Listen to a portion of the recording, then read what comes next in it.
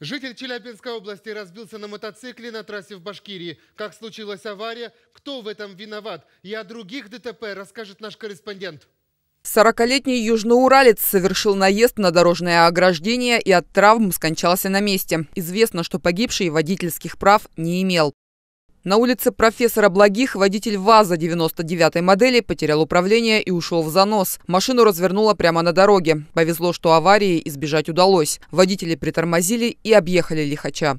Приняла удар на себя. Пенсионерка оказалась под колесами машины, спасая внучку. ДТП случилось в поселке Красное Поле. Пожилую женщину сбил ВАЗ 10 модели, когда она с семилетней внучкой переходила дорогу. Чтобы ребенок не получил травм, старушка оттолкнула девочку и приняла удар на себя. У внучки сотрясение мозга, шок и огромная гематома на лице. А состояние пенсионерки тяжелое. Она в больнице, скоро ей проведут операцию. На Копейском шоссе перевернулся автомобиль. По словам очевидцев, «Газель» перевернулась после столкновения с легковушкой. У второй машины сильно поврежден капот. Пожарная машина не смогла выехать из двора. Техника застряла в глубокой яме. На убитые асфальты ямы между домом номер 38А по улице Чечерина и домом номер 21А по улице 250-летия Челябинску жаловались давно, но людей не слышали. По словам очевидцев, сотрудникам МЧС пришлось воспользоваться ломом, чтобы освободить колеса. Только после этого машина смогла выехать подобной ситуации оказался мусоровоз. Он застрял в яме на улице Пекинская в Копейске. После того, как машину вытащили, местные жители пожаловались, что оказался поврежден водопровод. А на площади революции прямо на дорогу упала ветка дерева. Она рухнула прямо на проезжающую мимо легковушку. Теперь хозяины иномарки подсчитывают ущерб. Платить, скорее всего, будут коммунальщики.